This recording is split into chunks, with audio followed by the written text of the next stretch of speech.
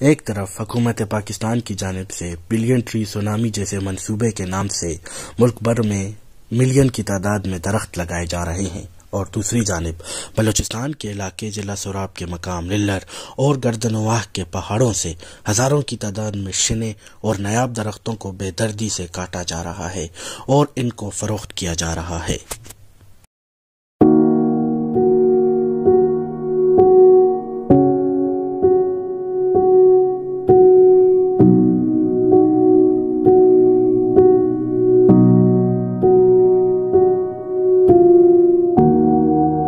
ये पहाड़ियाँ सोमाली कबीले की मलकियत हैं।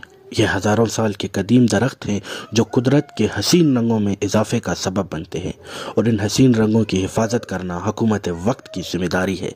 और हम उम्मीद करते हैं कि हुकूमत वक्त इस मसले पर फौरी इकदाम अमल में लाएगी और इस गिरोह के लोगों के खिलाफ सख्त से सख्त कार्रवाई करेगी।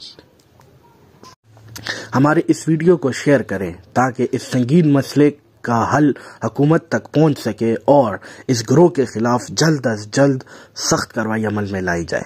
बलूचिस्तान ग्लिम्सिस के साथ आकिब खालावान कोयटा, बलूचिस्तान।